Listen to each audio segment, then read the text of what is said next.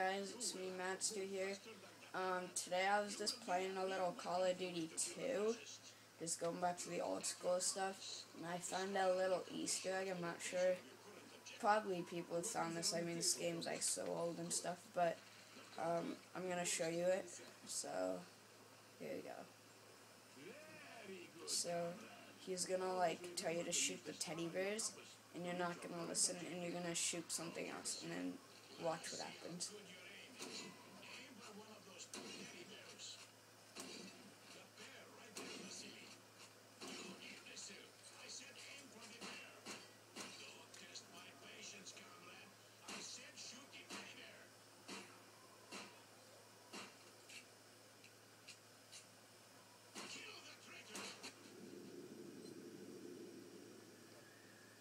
and then everybody starts shooting at you, and then your thing just gets restarted.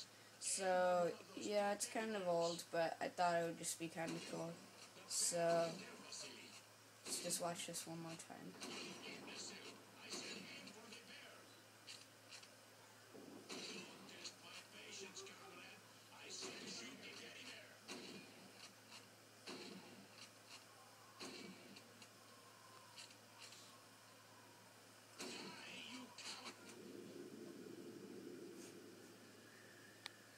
Alright, so yeah, that's kind of my video, guys. Thanks. Please remember to comment, rate, and subscribe. Thanks.